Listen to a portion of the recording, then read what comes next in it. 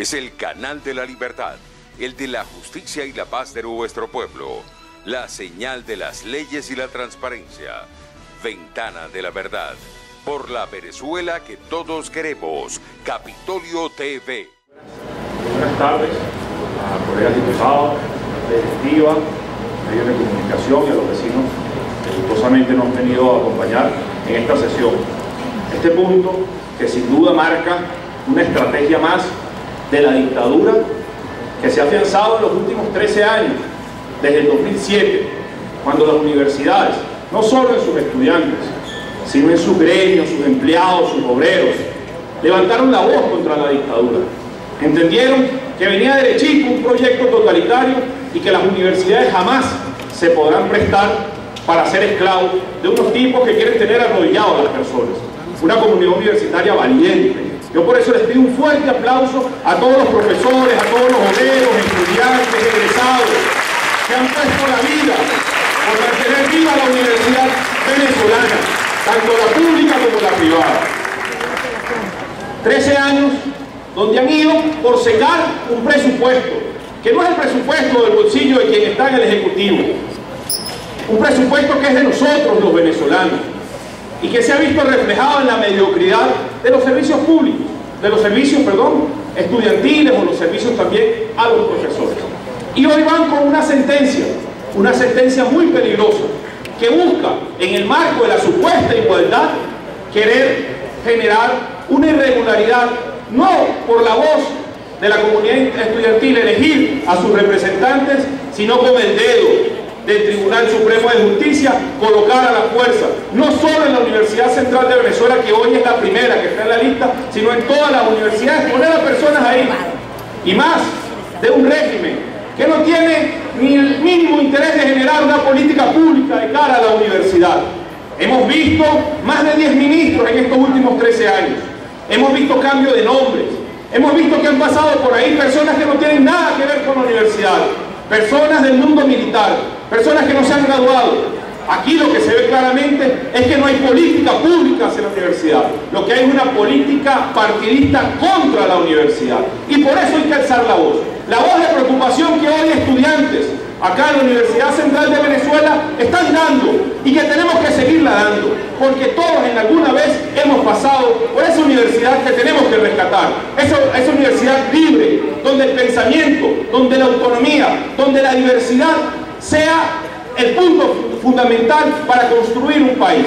Lo que pasa es que no entienden de autonomía, mucho menos de justicia, mucho menos de oportunidad. Son enemigos de estos términos y por eso es muy importante nosotros exteriorizar y visibilizar lo que están haciendo contra nuestras universidades. Si ellos quieren hablar de participación, porque les encanta el término de la participación conveniente a ellos, hablemos de la participación estudiantil. ¿Cuánta federación de centros universitarios, por ejemplo, de la mía, de la UTLA, el cual me siento muy orgulloso de pertenecer, hoy tiene una sentencia en el TCJ? Pero ya no van ni siquiera contra las FSU, van contra los centros de estudiantes, van contra las elecciones de empleados, van contra las elecciones de obreros. Les molesta que la gente hable con fuerza y diga que no los acompaña en ningún espacio, ni en la universidad ni en el país. Por eso cuando ellos hablan de participación no va con ellos porque saben que no quieren a la gente, no quieren la calle. Ahora, ¿quieren hablar de la universidad? Vamos a hablar. ¿Quieren abrir el debate sobre la universidad? Vamos a hablar. ¿Qué hablar sobre el transporte universitario que hoy está en ruinas? ¿Qué hablar sobre el tema del comedor? Que las universidades hoy dan arroz pelado cuando llega. Esa es la verdadera, el verdadero drama y la verdadera miseria que hoy existe en nuestras casas de estudio. Y estoy hablando desde la perspectiva estudiantil, pero también me pongo del lado de los estudiantes. Hoy, mi, primer profesor de la Universidad de Ingeniería Civil de la UCLA se debate entre la vida y la muerte y está en terapia intensiva y no le cubre nada el servicio médico de la universidad. Eso es lo que quieren. Ponernos a hablar de esto y olvidar esto. Miren, están muy equivocados. Nuestra lucha es por una universidad pública, plural, donde en la diversidad entendamos el respeto y desde ahí construyamos el, país que queremos. No les conviene a ellos. Pero también, y para terminar, hacer un llamado de reflexión, porque creemos que a veces con estos debates esto queda aquí. Hay una amenaza real contra la educación. Y después de la educación universitaria irán contra la educación media. A estos procesos dictatoriales le molesta que la gente estudie. Por eso el llamado es a los egresados, a los obreros, a los estudiantes, a los que en cualquier familia alguien ha pasado por la educación universitaria y esa educación los ha sacado de la pobreza. Que si nosotros no defendemos y luchamos nuestra casa de estudio, lamentablemente iremos hacia el adoctrinamiento. Que si nosotros no luchamos por la democracia, que es parte también de estas luchas, lamentablemente estaremos entregándoles un país precioso como Venezuela a unos tipos que lo desprecian en la calle. Hay que luchar, hay que seguir luchando en cada espacio, no solo en la Asamblea Nacional, sino en cualquier espacio, por democracia, por libertad, que ese es nuestro proyecto de país donde cabemos todos. Muchísimas gracias.